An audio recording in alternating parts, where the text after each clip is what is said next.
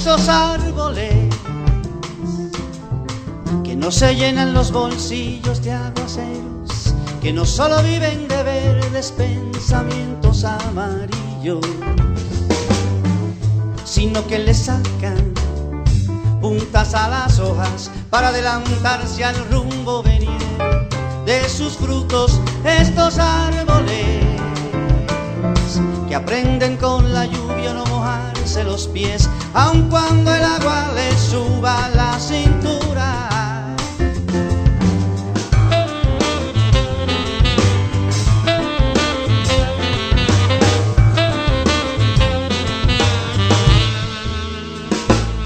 Estos árboles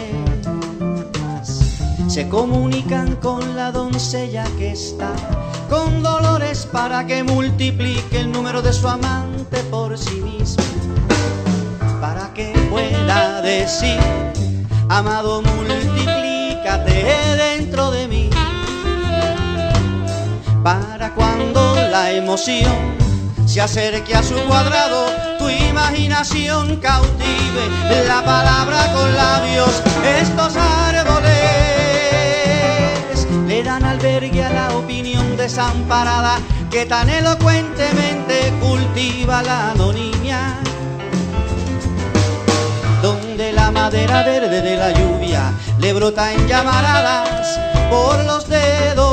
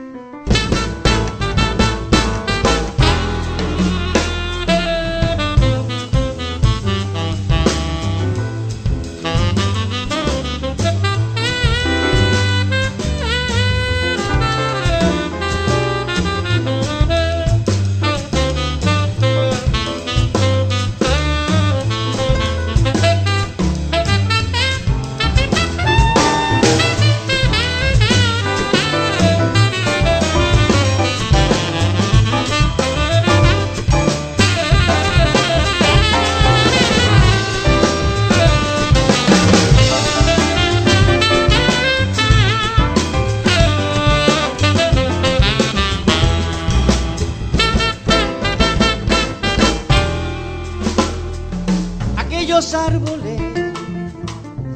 producen la tela incombustible de su fuego, con la nieve imposible del verano, con lo que sucede en la noche de abril de cualquier mes de mayo para que lo imposible escale en el gozo de su desventura, la cima infranqueable de lo que la claridad no deja